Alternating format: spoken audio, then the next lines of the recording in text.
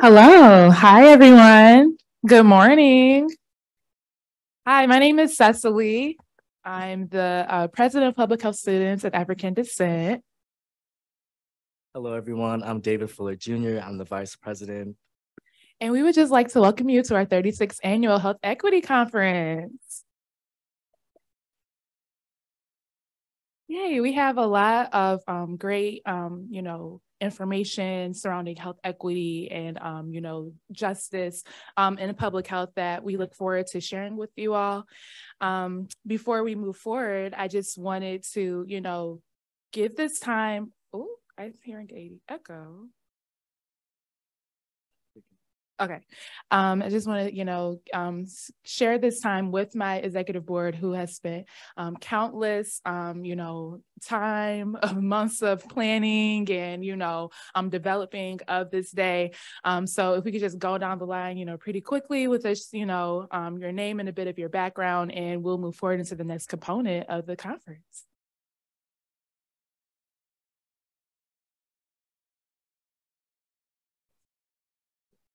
Okay, great. So I'll come back. Like I said, I'm Cecily. I'm the president of PHSAD. I'm a second year HBHE, Health Behavior Health Education Master's student, and I graduate in under a month. So yay.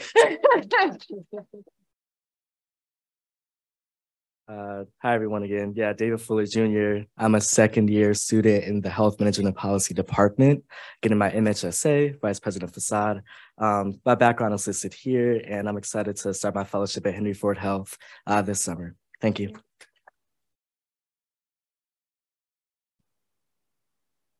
Good morning, everyone. My name is Kamara. I am a second year MPH student in health behavior and health education with a certificate in injury science. Um, professionally, I work for the Wayne County Health Department as the Deputy Chief of Emergency Preparedness and Response, and I am the Secretary of PHSAD.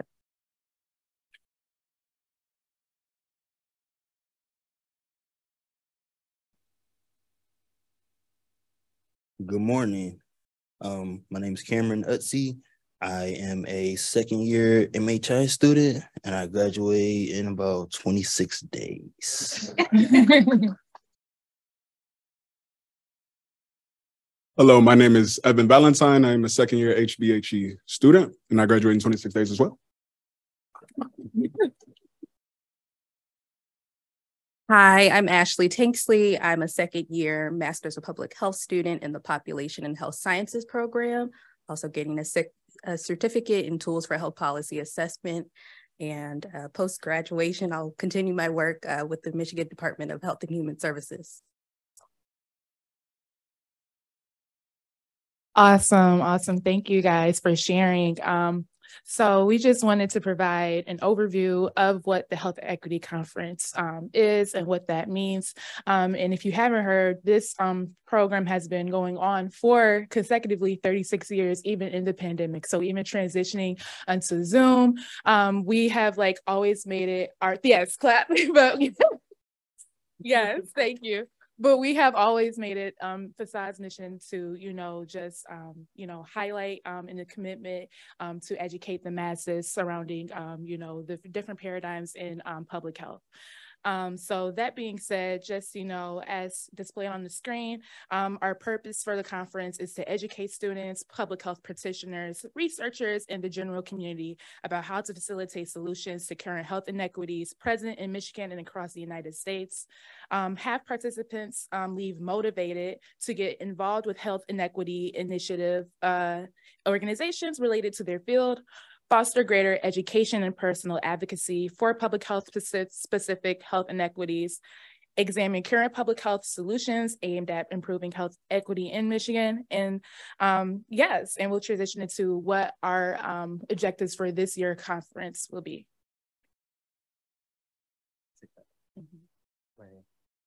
So our conference theme for this year is What's Next? Transforming the Climate of Health Ethics, Equity, and Justice in Public Health. Our conference topic objectives for this year is to address the historical implications of bias in healthcare and health ethics. In addition to that, we want to uncover the issues in environmental racism and solutions to change the built environment. And lastly, we want to develop upcoming leaders and advocates to systemically address racism within public health and within the larger society. And with that, we'll transition to our agenda. Yes, so um, we have a very expansive agenda for us today um, as we will transition into our keynote address in a couple of minutes and then, you know, go into a 15 minute break um, to have our um, awesome panel, um, you know, uh, have uh, be facilitated by um, a former PHSAD Vice President Dorian Ballard. and then we'll transition into lunch to have our second half of our uh, conference centered around a case discussion um, and networking hour facilitated by our faculty advisor, um, Dr. Dotson. And, with that being said, um, we're going to now um, hover over into our keynote address, which will um, be introduced by our Secretary, Kamara Gardner.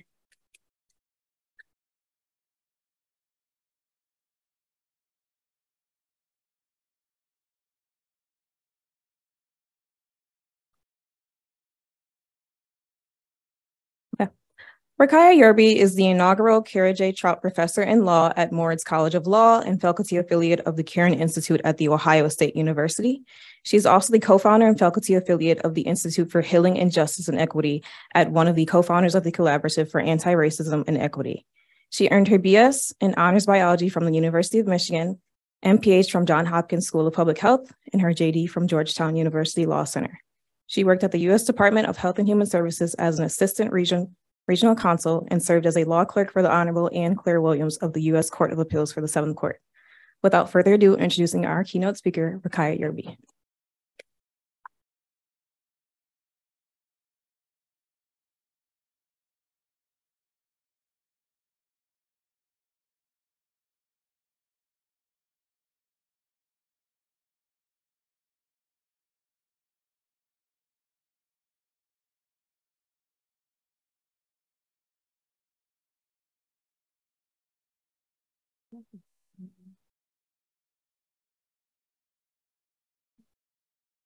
Welcome, everyone. I'm excited to be here to be able to talk to you today about hope, innovation, and transforming public health.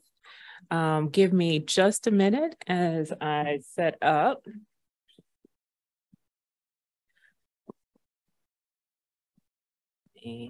Yeah um, and start my timer so that I can make sure that I leave enough time for lots of discussion. So I'm excited to be here today representing on the Institute for Healing Justice and Equity and the community groups that I work with. So, if I can advance the so I'm gonna need some help because I it seemingly will not advance. Maybe I can do like that. There we go. Um, all right, so let me give a brief roadmap of what I'm going to do today. Um, I'm going to talk about the ways that we can transform public health, then really dive into some of the problems with public health, particularly around public health ethics, health equity, and then end on a note about how we can uh, adopt and transform public health really by focusing on achieving health justice. So let me begin by talking about hope, innovation, and transformation. So much of the focus on public health lately has been negative, And what I want to center our attention on, at least at the beginning, is really to focus on hope and the ways that community has led us and taught us what we need to do to help people be healthy.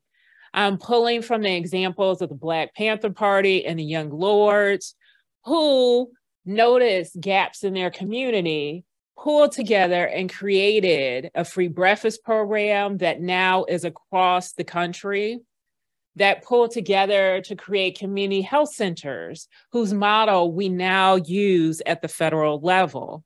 And so, what I'm trying to do is to highlight that sometimes us in the room in public health think we know better, but it's really about the community that has been disenfranchised who can teach us how to actually move forward and support all the things that they need to be healthy.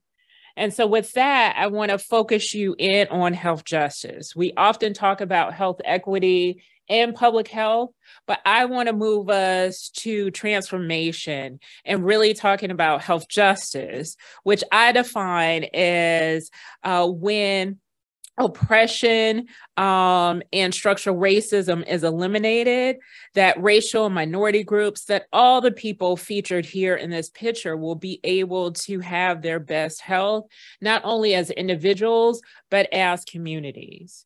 And so, with that, I want to turn to particular problems that we have within public health. One of them is that the main powers used primarily to discuss public health are very limited. We focused on bioterrorism, disasters, pandemics, on vaccines, when public health is so much more. And I'm going to talk about that a little bit later. That within public health, we are not honest about the ways that we perpetuate subordination. And I will define it a little bit later. But before I do, I want to give you specific examples of what I mean. We'll see in stories about why public health is facing a crisis. Many health departments are under attack. There's a loss of public health authority, a loss of money, and over half the states have rolled back public health powers in the pandemic. People have noted that we have an unfulfilled promise of public health. And that is in part because we limit what public health is. Public health is not just about vaccines. It's about getting people housing. It's about clean water. It's about ensuring that people are not discriminated against. It's ensuring that kids and people don't go hungry. And we have to recognize that and deal with that as we talk about public health because it is so much more. Let me move on to what I talked about earlier, which is subordination. It is a set of policies, practices, traditions, norms, definitions, cultural stories, and explanations that function to systemically hold down, systematically hold down one social group to the benefit of another social group.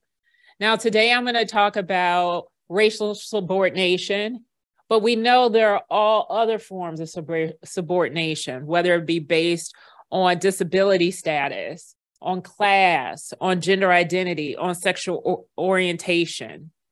But I want to be clear that subordination influences public health associations and, assumption, and assumptions, like blaming racial and ethnic minorities for their poor health, while allowing whites to say, oh, well, I didn't have enough time, I didn't have enough money. The same thing happens when we blame the poor for not being healthy but don't hold corporations and those with power and money responsible for the things that lead to their poor health. Now, I use this language uh, because it allows us to discuss the association between health inequities, racism, and capitalism. Most times in your classes and things we talk about, we talk about discrimination. But discrimination is so limited, it does not include all the ways that our society harms individuals and the ways that sometimes public health plays a role in that. And so let me begin to focus on particular problems within public health. Leaders reinforce the erroneous belief that racial and ethnic minority individuals are genetically inferior. Public health practices that focus on the poor lifestyle cho- choices of racial and ethnic minority individuals for health inequities failure to partner with racial and ethnic minority communities to address public health issues, which ignores their autonomy while blaming them for their choices. However, we have to be clear it's not just racial and ethnic minorities who have poor health in America. We all do because of the systems of subordination and oppression, which keep us from being healthy. I want to highlight some key examples that have happened over the past, particularly ways that we blame others. Right during COVID, the HHS chief suggested workers are to blame for COVID outbreaks at meat and poultry plants. And he suggested that the social habits and living conditions of workers at meatpacking plants were the reason for COVID 19 outbreak saying that this was based in part upon things that public health officials had said. But clearly, those meat and poultry processing plant workers uh, were not the reason why their living conditions were so poor. The reason why is because we do not provide health and safe housing for individuals. The reason why is because they don't have enough money to be able to live in places that are safe. There was even a discussion blaming them for driving to these places together and that was cause of the spread. But many of these places are in rural areas where there is no way to stay safe. There is no other way to get there. I want to highlight another example of blaming which was by the US Surgeon General talking about and blaming Black and Latino people for inequities in COVID 19 infections and deaths, saying they needed to step up by avoiding alcohol, tobacco, and drugs. Um, and we need to understand that this makes us vulnerable, as if these were the only communities and only reasons why COVID 19 was spreading. When you take a look at workplace exposure and the research done by public health officials, you actually see more of an association between workplace than between tobacco, alcohol use, and drug use the continued forcing of people and low wage jobs to go to those jobs without being protected by masks, without being able to wash their hands, without being able to social distance was actually a higher rate, shown to be a higher rate of association than anything else that was mentioned by some of these public health officials. And so attributing differences in health to lifestyle choices, I want you to know, is not a neutral, valued language. It is a racist idea. It is a classist idea because it assigns responsibility to individuals without reference to the context of their lives. Dismissing racial patterning of power and opportunity and ignoring the toll of daily and lifelong experiences of discrimination is a form of subordination, and it is one that we often use in public health. So, when we talk about public health ethics, when we talk about clarifying and prioritizing and justifying possible courses of action under public health, we must understand that our continued focus on lifestyle choices is racist, is classist, is subordination. And I just want to highlight some ways that we do it so that we could see it and hopefully stop it. Now, I pulled this from the CDC's, the Center for Disease Control and Prevention's website about chronic diseases. And some of the things that they focus, I'm sorry if it's not big enough for you, so let me just read out some of the key components of it, is that the short list of risk behaviors uh, for chronic diseases is tobacco use and exposure to secondhand smoke, poor nutrition, lack of physical activity, excessive alcohol use. And while it's important to highlight the connections between these things and poor health, what it doesn't incorporate is the reasons behind some of these poor health behaviors, which I'll talk a little bit more later. But I, what I do want to do is that our continued focus on individuals who are using tobacco use is incorrect. Why?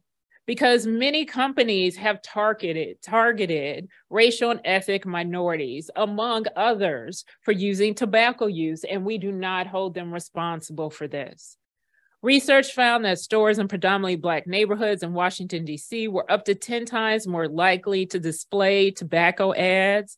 We see the same thing in predominantly latino neighborhoods. There are up to 10 times more tobacco ads in Black neighborhoods than in any other neighborhood. Why? Because as more educated, high income people stopped smoking, tobacco companies targeted the poor and racial and ethnic minorities to maintain their consumer base. And they targeted them with menthol cigarettes, which makes it harder for you to stop. Those in poverty cannot afford smoking cessation programs, while research suggests that Black people are least likely to be prescribed eight to 12 weeks of nicotine, nicotine replacement medication or to have more than one session, session of counseling.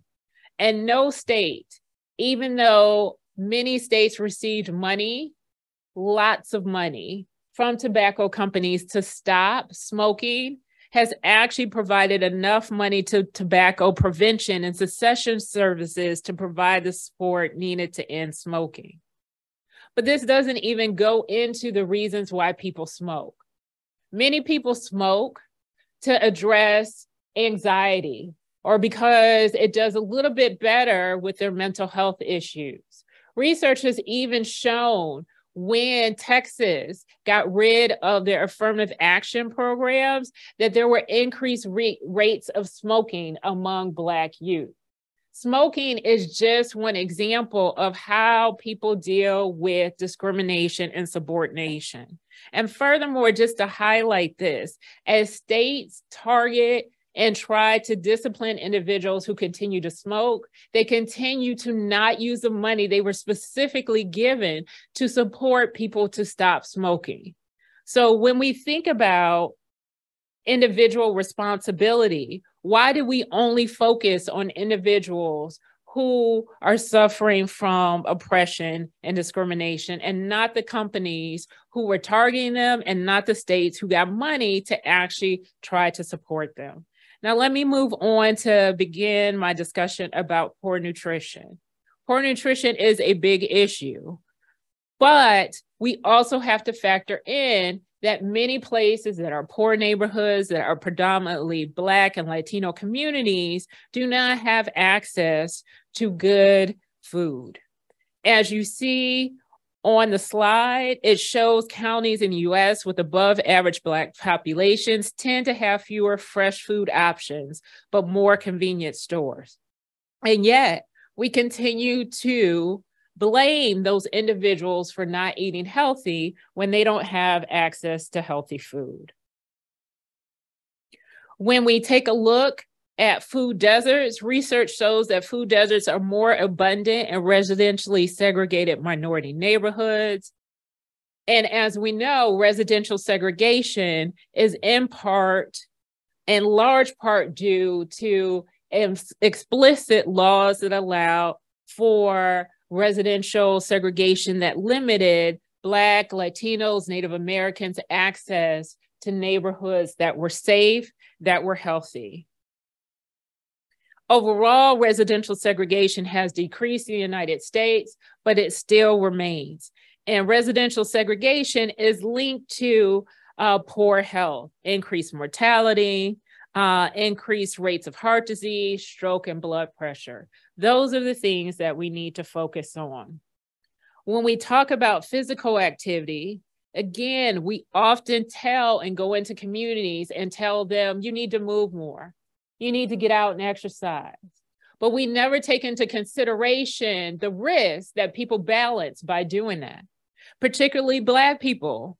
If you're out running in a neighborhood, you face discrimination. You face the possibility that you could get killed. But yet, as public health officials, we continue to say, oh, go out, right? The same thing for women go out and be healthy, but you could be harassed right? You could be stopped.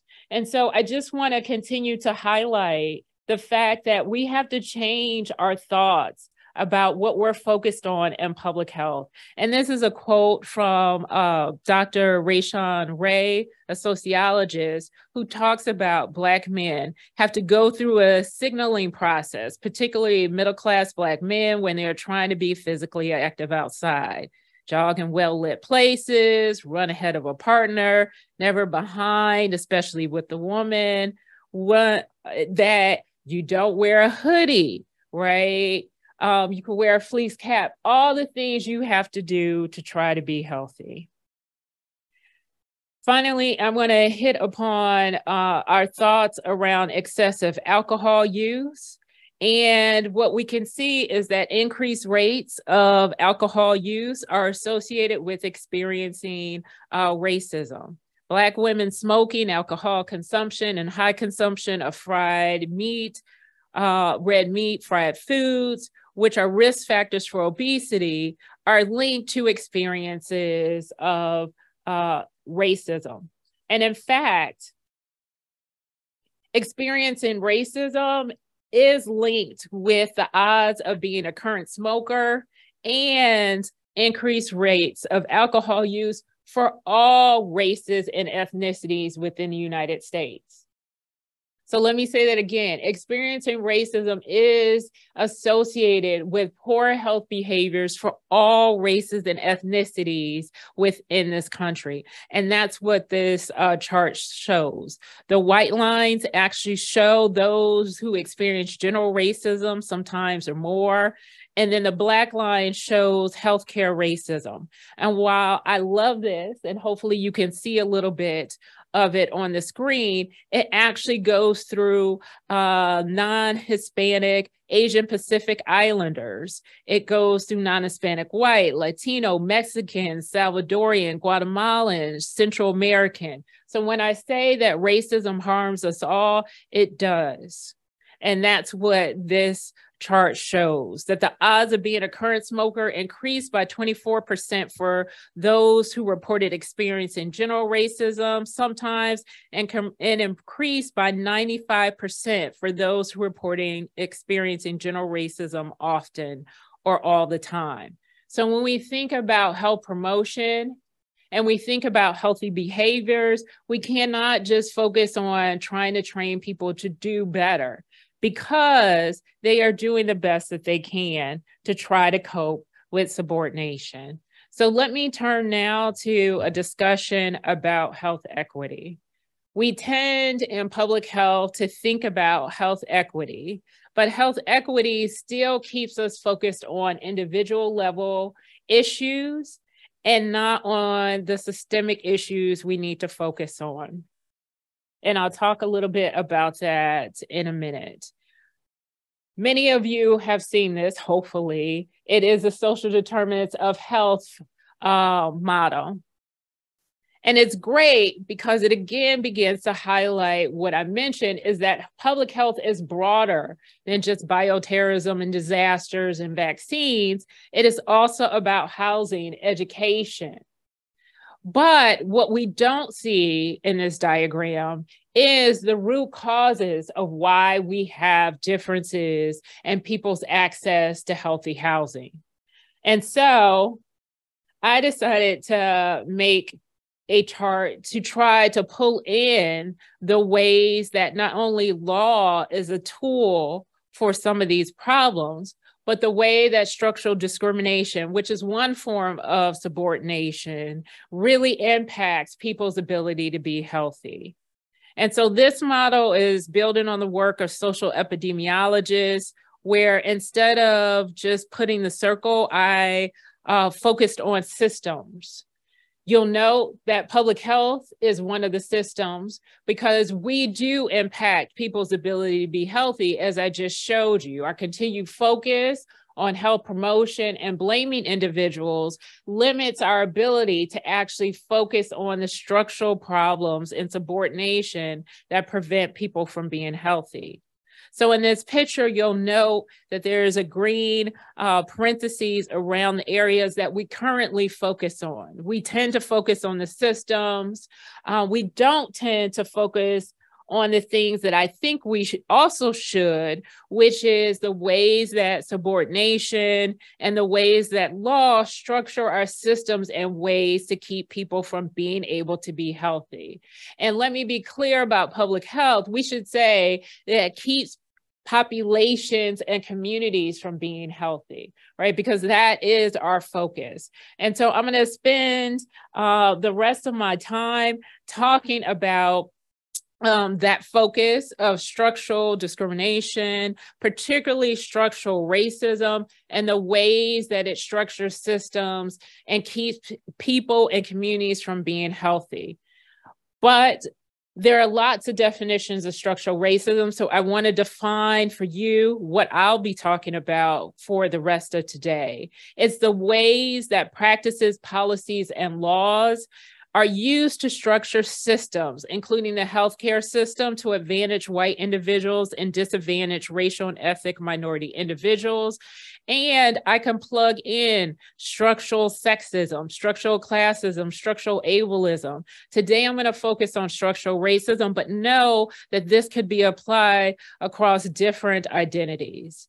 It's also the ways that organizations work together to create separate and unequal and independent barriers through the neutral denial of equal treatment that results from the normal operations of organizations in a society. It does not require bad intent and know that organizations could mean trade organizations, it includes governmental departments, officials. Um, it's the ways that we operate sometimes together to limit people's access to the things that they need.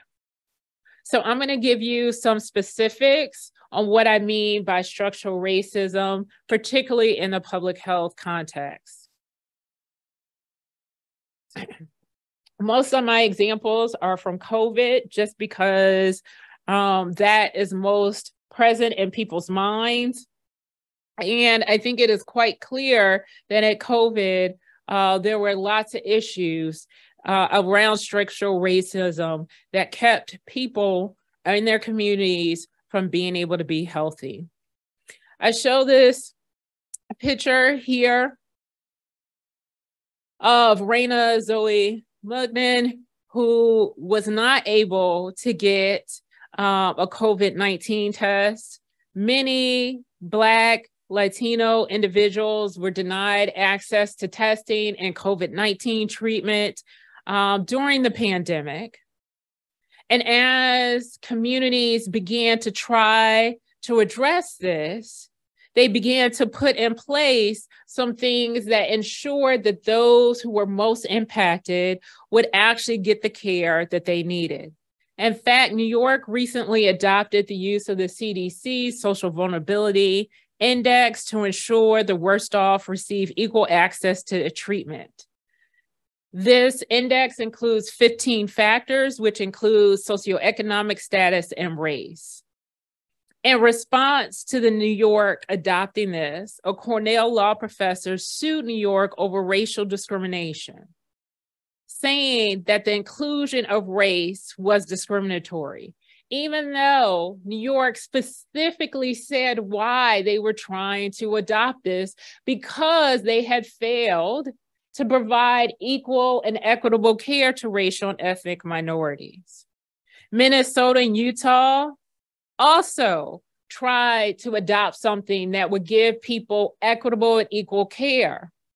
They decided to scrap it because they were called by conservatives and threatened with lawsuits. Now, why is this important? Because in Minnesota, whites have the lowest incidence, incidence of COVID 19 cases compared to Blacks, American Indian, Alaska Natives, and whole Native Hawaiian Pacific Islanders. But, but because the protocols have been scrapped, treatment for COVID 19 will not be distributed equally to those who are disproportionately harmed.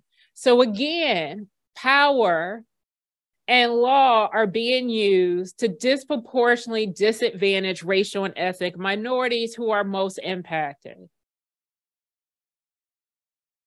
And I would be remiss if I didn't highlight my lovely state of Michigan and the things that have happened.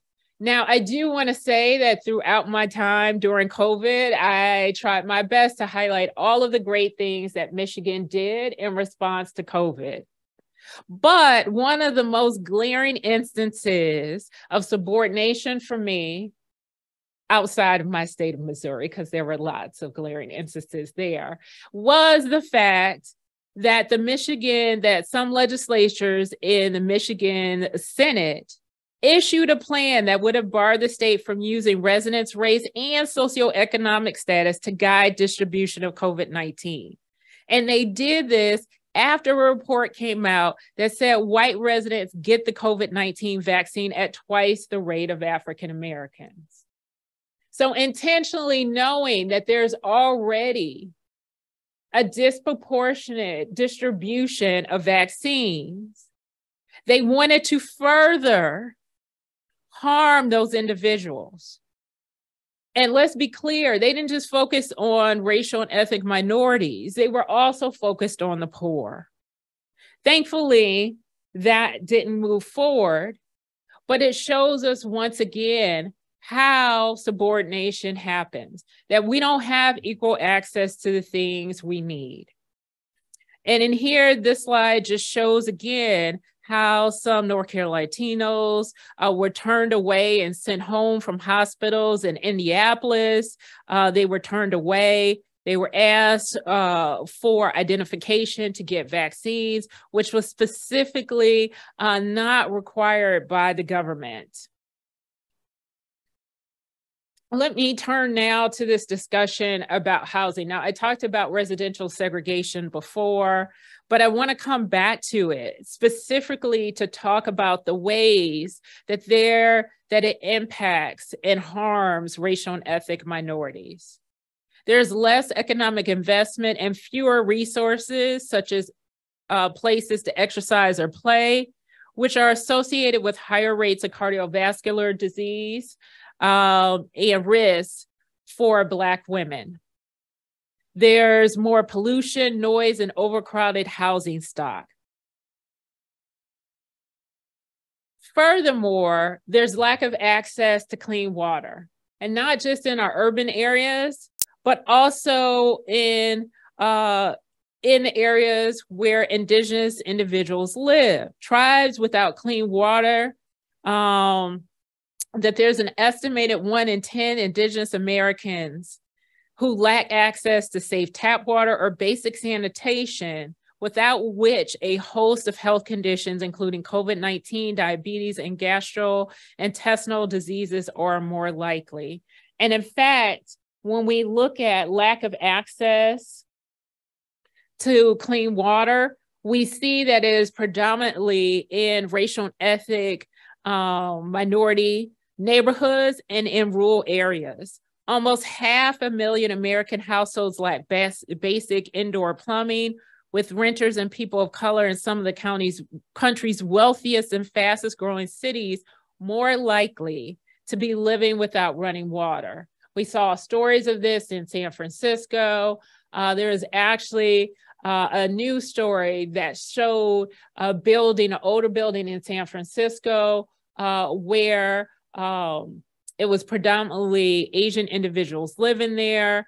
The toilet, they had one toilet uh, for multiple apartments that usually didn't work. So one woman had a potty in her uh, in her apartment that you would use to potty train people, and that's where they went to the bathroom right? So when you're telling people to be healthy and they don't have access to water, that's not really going to work. Um, and it's not what we should be doing as public health officials. Um, let me talk a little bit about employment as well. Some companies have used prior salary history to pay racial and ethnic minorities and women less than white men. Evidence also shows that companies channeled racial and ethnic minority individuals into lower paid careers, particularly, particularly in the tech industry for Asian individuals. We often say to people that it's your responsibility to negotiate for a higher salary. But what the research shows is that Black job seekers were penalized for trying to negotiate equal or higher salaries than their white counterparts. And um, they are expected to negotiate less than their white counterparts. So listen to what I'm saying. In the United States, where we say everybody should be paid equal for equal work, you will be penalized for trying to earn the same as someone else. And we know most times you're doing more work than everybody else and getting paid less than everybody else. And this holds true for women as well. There was a study that actually compared white women and Black women together. And they saw that Black women did more work and earned less. Uh, Professor Tristin Green finds that some employers change standards to highlight the qualities of men versus women. If men have degrees, then education is important. But if women have degrees, then education is not important. It's more about how you work well with others. This can explain why educational attainment does not work for women and people of color because we continue to violate the law and change our standards based on who we want to hire. Now, of course, I have more, but I'm going to keep going and talk about how this connects to health outcomes. There's gender disparity and depression and anxiety disorders when women earn less than their male counterparts, which was substantially reduced when women earn more or similar to their male counterparts. Experiencing discrimination at work has been associated with high job stress, post traumatic stress for Black women, and also been associated with higher rates of infant mortality. But when we think about public health, do we ever mention any of this when we're talking about issues about maternal and child health? No. And so I want to spend the rest of my time, which I think is about 25 minutes. Two minutes. Uh oh. Okay. Well, can I get five? Okay. Maybe seven. And I'll wrap it up. I'll wrap it up because I want to end on a positive note, right? So I've spent all this time talking about the negative, and here you can show an example of it. Uh, but I want to talk about health justice. So to me, health justice means that we must be truthful and allow for a process that allows people to overcome their trauma.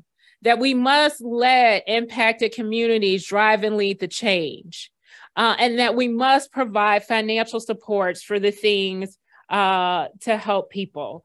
And so I put up my model earlier. This is how it fits together, right? That we must be truthful and honest about subordination, structural discrimination that happens. We must uh, have community drive the structural change. So they must be a part of making the laws, enforcing the laws, and we must provide financial supports. And so, what does that look like? Um, it requires honesty about racism in public health. As I just mentioned, there are lots of examples. Acknowledges that racial and ethnic minority individuals continue to be blamed for poor health outcomes when there are structural issues that when we name racism as a public health crisis that we recognize that we are part of that problem that it impacts everybody. And so it's not just about focusing on all the ways that racism impacts racial and ethnic minorities. It harms everybody, women of color, LGBTQIA. It, it saps the strength, as Camara, Dr. Camara Jones says, it saps the strength from all of society. We must provide opportunities for racial and ethnic minority individuals to tell public health officials about the harms they've suffered. We must provide therapy and restorative practices for those who are harmed. But that's not enough. Those who are harmed need to be uh, the transformation in their lives because they know what they need. And governments must provide money and access to health care for individuals who have been harmed. So with that, I want to end and just provide a couple additional readings that my work is based on, and I look forward to your questions. Thank you.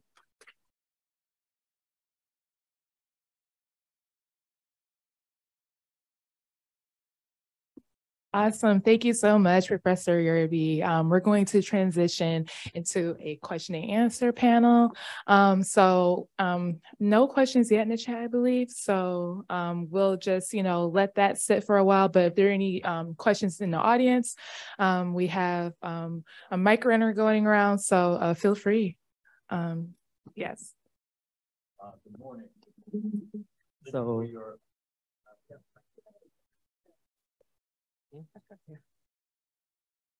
Good morning. Thank you for your presentation. Um, you had mentioned at the beginning of your uh, presentation as to how public health has been given a negative light in terms of the perceptions of what they do. What is being done for those students, new students that be coming into the public health sector? And what would encourage them to, to move further despite some of the insights that are, that are out there regarding public health? Um, so thank you for that question. Um, so as you mentioned, I mentioned that uh, public health is under attack, but there is a lot of great work being done by public health officials to help people. And I think we need to not only raise that up, support the students, but also train them in a different way. As I mentioned, we tend to only focus on public health as this very limited thing um, instead of looking at how broad it is and how much it contributes to our overall health and well being, right? So when we think about Biden passing a bill uh, to put money back in the community, to me, that's public health because that's putting money back into a community, a population to support their health and well being. We need to champion that. We need to champion the things that we have done that support people's health and well being being. Um, like I said, the community health, uh, the community health um, centers, the free breast program, the fact that so many people during COVID 19 got money and food. To me, that is public health. And so I think we have to talk about it differently, support the people who are doing this work, and highlight all the great things that they are doing. But we need to shift our frame so that when we go into communities, it's not to teach them to do better. They need to teach us because they have been doing so much that we have not supported them on. Um, so I think those are a few things. Thank you for that. Um, I want to take a moment to acknowledge our people that we have joining us online for the live stream.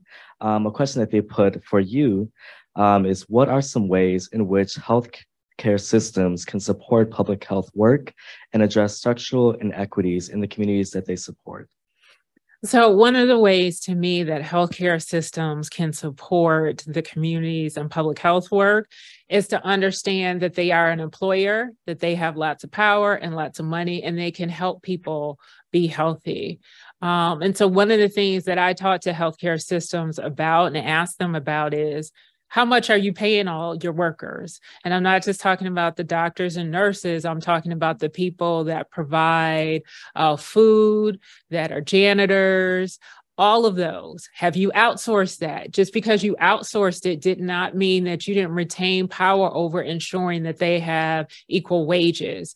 And so there's a hospital in Cleveland, where they actually uh, decided that everybody who was employed at that hospital, regardless of whether they were independent contractors or not, would have access to health care. To me, that is something you should do. Most hospitals were in neighborhoods that had poor housing, and then they bought it up. But what did they use it for? They didn't help the community that was there. They could have helped the community that was there, and they should help the community that was there. Hospitals have big spaces. Um, they tend to have gift shops in their hospital. Why don't they have barbershops? Why don't they have places where people from the community could actually work? Those are all things that hospitals have the power to do to continue to build the community and support the people that are there. That's some of the things that they should do. Awesome. Thank you for that. Are there any further questions in the audience? Okay, we do have another question from the um, our live stream um, guests. Um, this question states, what are some suggestions for how to effectively build power in public health spaces to address the disproportionate impact of politics in implementation of policies to address health and wellness in communities? Um, so I think what you said uh, was that the question is, how do you build power uh, to be able to change, particularly as politics continues to impact public health. Okay, great.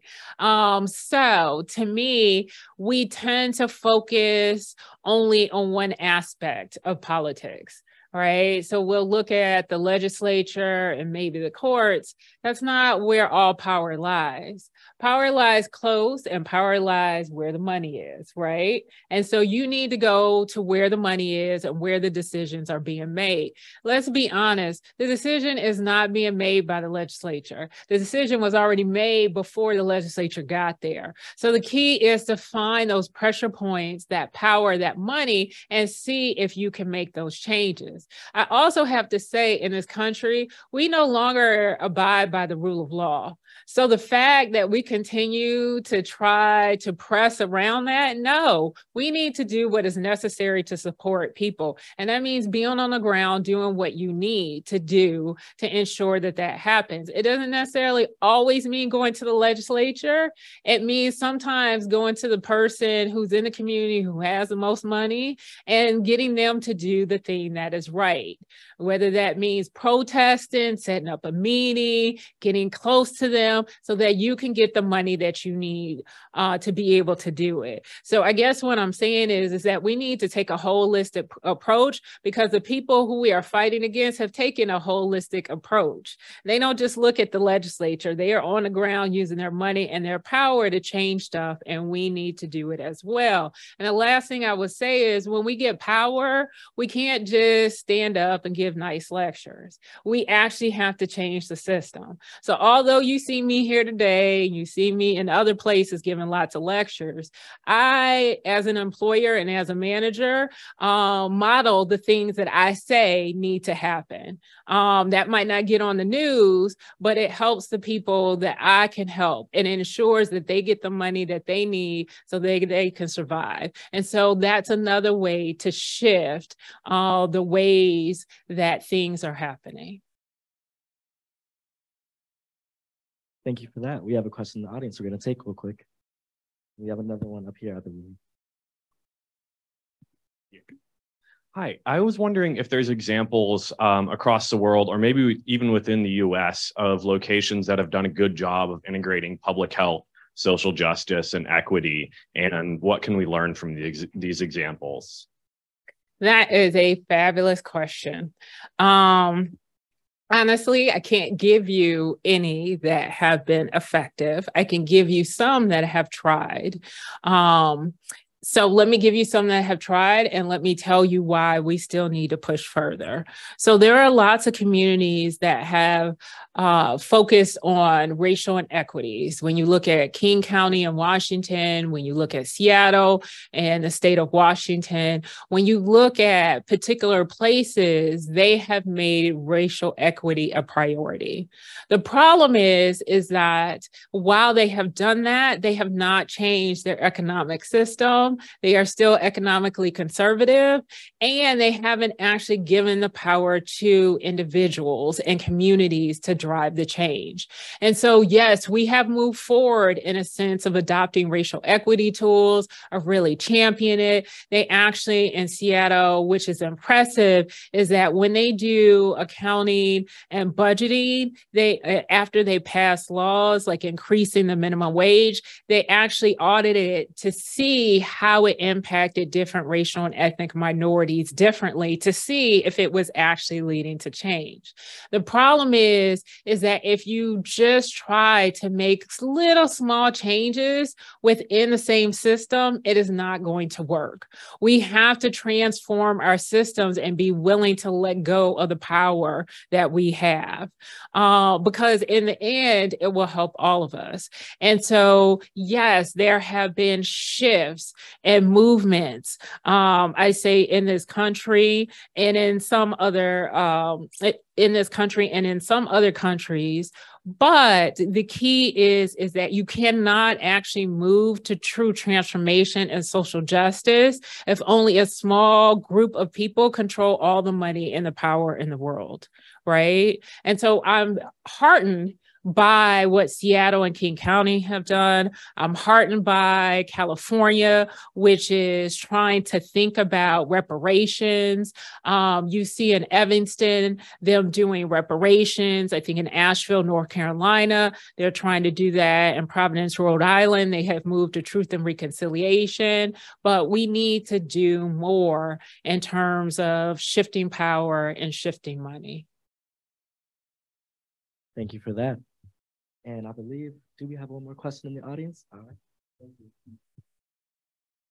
Okay, I'll, can you hear me? Okay, so I work in the medical field. So I know there's a lot of inequities with that. Um, you know, we don't have enough. Well, we don't have whole foods usually in the hood. you know, like you said, if we are out trying to run, you have to be very careful. That talk for our teenagers is not about sex. Is that talk about keeping your hands at 10 and 2 when the cops stop you? But anyway, I I am an RN and it's the public health service thinking about the grassroots of the people. Did you ever think about um, speaking to them in ways that they could help themselves stay healthy, even though the powers that be don't want us to and don't give us that much power to. There are things that we can do that I think the public health uh, systems should think about when you're thinking about grassroots people. Yeah, and I would um I hear your question about um can we use our power to educate communities. And I would uh, change it a little bit to say, can we get the money and the power to let communities um, lead the change?